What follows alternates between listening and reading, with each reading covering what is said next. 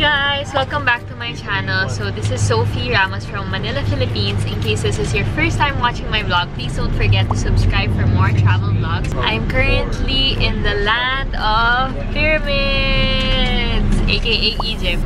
So I'll be here for one whole week and our first stop is Cairo. So we landed earlier this morning.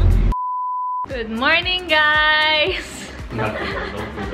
It's not even a good morning. So I'm currently in Egypt. So this is real life. We're having breakfast in bed. Literally, breakfast in bed. Ewan ba? I don't know why there's no like table or dining room for breakfast. So our room is like a holding area slash sleeping slash dining area. It's currently almost 10 a.m. and we're getting ready for our tour today. We're currently staying at HostGram Hostel. So we landed at around 2 a.m. and then we headed here to the hostel. Took us about 20 minutes and we are lucky enough to be able to get an early check-in or else we would be sleeping on the couch. So we're really really tired, really sleepy from the plane ride since it was a red-eye flight. We're only sharing one room right now because they were only able to offer us one room. Later on, we'll check in in another room and I'll give you a proper room tour later on kasi sobrang gulo ng room namin as you can see.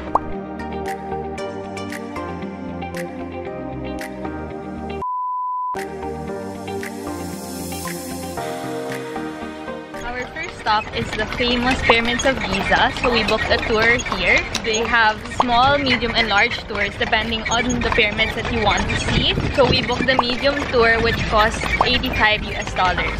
And then we got additional entrance to one small pyramid which cost $10. So in total it's 95. And then you have a choice to either ride a camel, horse, or a carriage going to the pyramid. So we got a carriage because it's too hot right now. So we're finally down from our carriage. It's so, so hot. Crazy. The pyramids are really huge. I don't know how people actually built this. It's crazy. Seriously, how do you even build that thing? It's insane. Ah, I can't see anymore. It's so bright.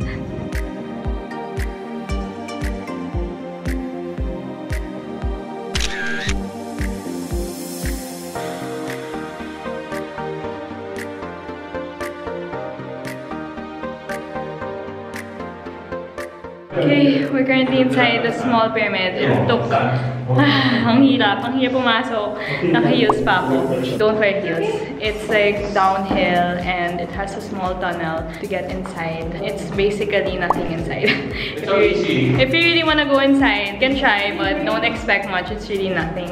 It's more of the adventure to get inside. Part of our tour is a meal. So we're having lunch at this restaurant. I don't know the name, but it's pretty okay. They have choices for the meats. If you're vegetarian, you can also opt for it. So they they also have aircon, but it doesn't feel like aircon. Parang fan lang. Sobrang init. It also has a view of the pyramids later. I'll show you.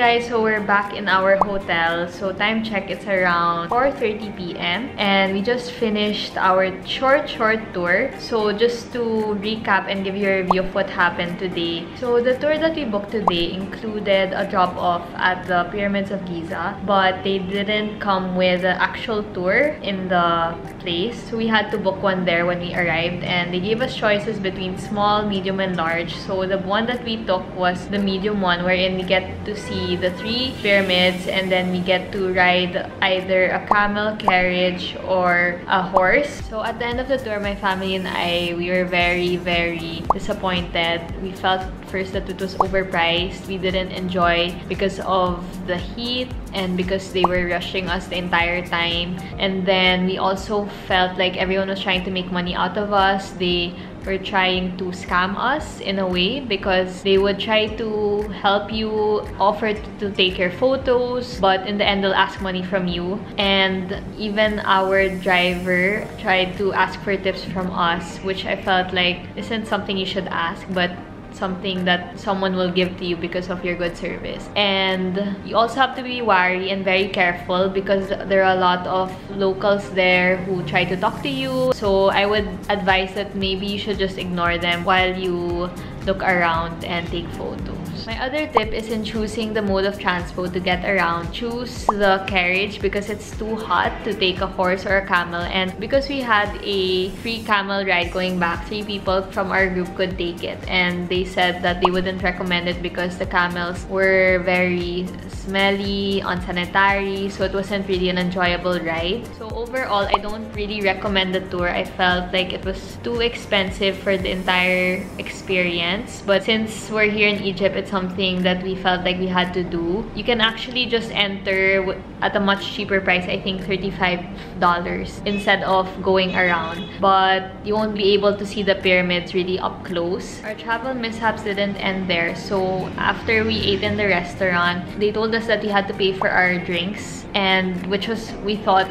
was part of the tour. So when they gave us the bill, it was so, so expensive for water and soft drinks. And when I asked for the menu, they said they didn't have because I wanted to make sure that was really the price. And then in the end, they gave us a dis discount. But I think it's really a scam. So they're really trying to overcharge us for the drink. So in Egypt, I think you really have to be careful, even with the locals. Don't trust anyone and make sure to be extra mindful of your belongings and also the prices that are charged to you.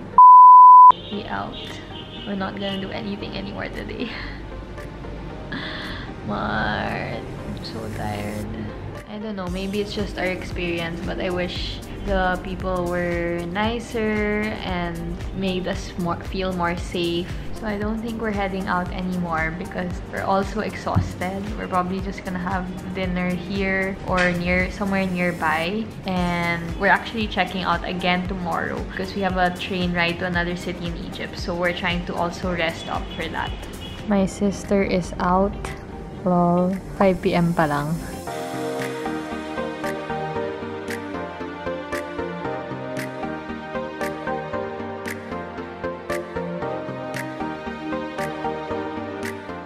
Decided to head out and get dinner at Kazaz restaurant. So it's a fast food chain here, I think. And we just got takeout because they don't have tables available for us. We got Egyptian food. Falafel again. So their food is really cheap. We got two falafels, two chicken shawarmas, one chicken dish, and one burger. And our total bill was about 84 Egyptian pounds or about 250 pesos only. So super sulit. Pretty good. $5. The taste is pretty okay naman. Sulit.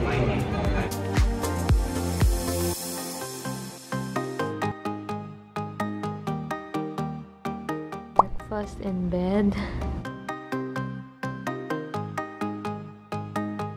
morning guys! It's day 2 here in Egypt. So we are just going to have a quick tour today and it costs 140 Egyptian pounds to get in. If you're a student, I recommend bringing your card so that you can get a discount. It will be 70 Egyptian pounds.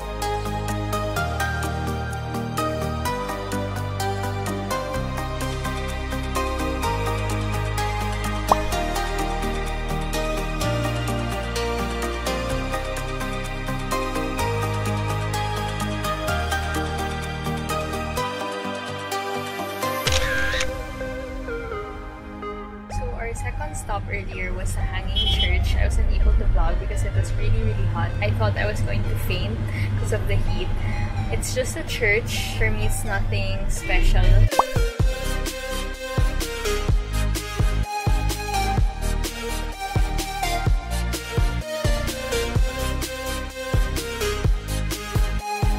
We're here at El Restaurant so it's part of our tour and the food looks okay compared to yesterday they have vegetarian options and meat options list.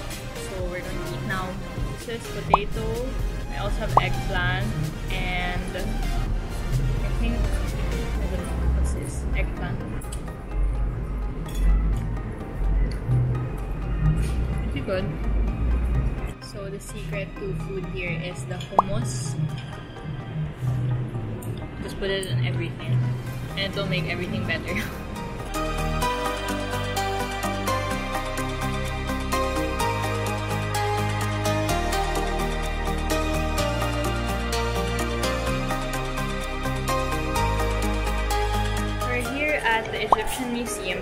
the top destinations here in Cairo.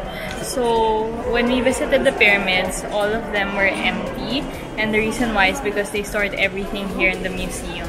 So the entrance fee is about 80 for students and 160 for normal adults and the museum is really huge. You'll be able to see a lot of artifacts and a lot of sculptures, everything that was stored in the museum before. So actually pretty cool to visit except it's not aircon.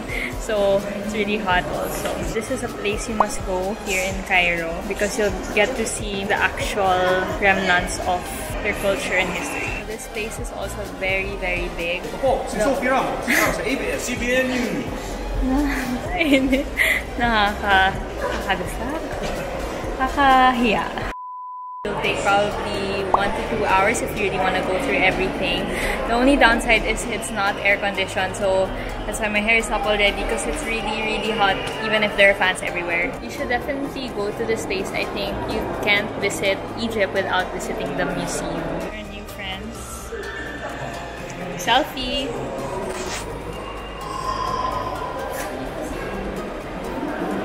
And very, very straight.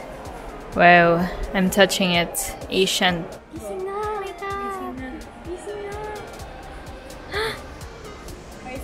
I think the real mommy. The mommy. The mommy returns. This is the reenactment.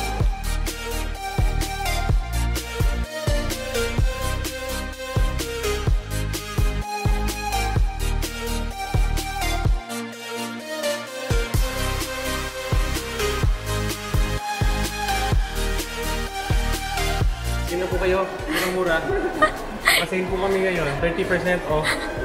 Size lang. Pili lang po. Pili. Ang laki naman ng size na to. Size 12 ba to?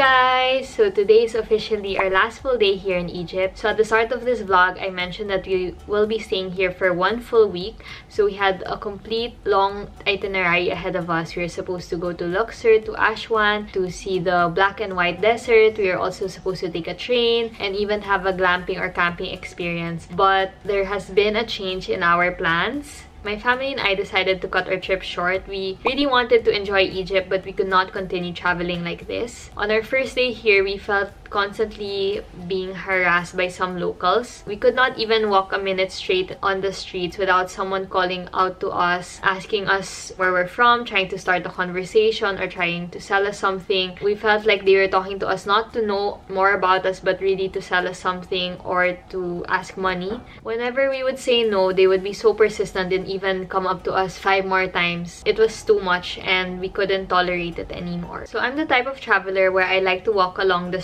because I feel like that's the best way to immerse myself in the local culture and scene. But my family and I, we preferred to stay in our hotel room instead of walking because we could not walk in peace without someone disturbing us. We even had our dinner delivered to our hotel room. So my family and I made a choice to rebook our flights so that we'll be able to leave earlier back to Manila. And it was very costly for us in all honesty. But we felt that it was worth it because we could not continue traveling uncomfortably. And actually at the start of this trip, Martin had to rebook his flight also earlier because he had to be in school. He had a, a prior commitment. So I felt like it was a blessing in disguise or it fell all into place.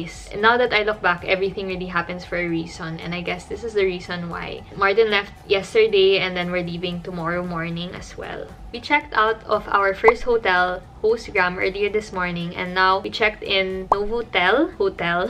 So far everything is good. It's a hotel very very close to the airport and they also offer free shuttle airport services. So that's good because our flight tomorrow is in the early morning. So far we're enjoying our stay here. Everything is good. The rooms are big and complete. They have several amenities. They have a lot of pools. So the ambience is really good. And we also had lunch earlier at one of the restaurants and the food was really tasty and the servings were big which was surprising for hotel food.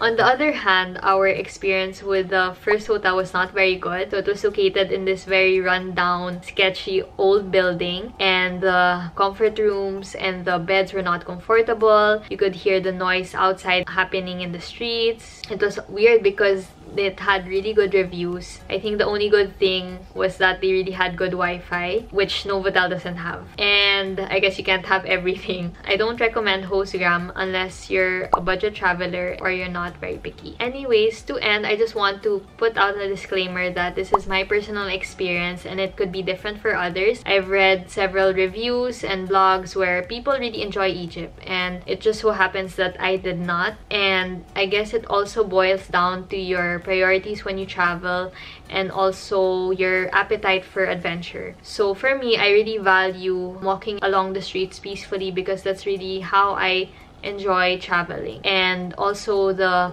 attitude of locals towards tourists. If you were to ask me, I would still recommend it if you're a different type of traveler than I am. But I do hope one day it will be better so that more people can see the great things and sights that Egypt has to offer. That's it. Thank you guys so much for tuning in and I hope even if this was a quick vlog, you're able to get a glimpse of Egypt. Please don't forget to subscribe to my channel and leave a comment down below on what you think or next destination that I should visit. Till the next one, bye!